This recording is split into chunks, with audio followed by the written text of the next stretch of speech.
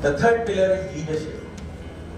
And when I say leadership, people start thinking about somebody as a leader. I'm not talking about them. I think they are all leaders. What do leaders do? Leaders have clear vision.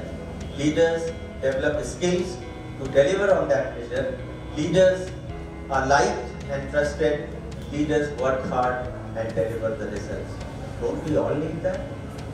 That is what leadership is all about, not becoming a leader, leading yourself, and that is leadership. So I think it's very important that we practice that.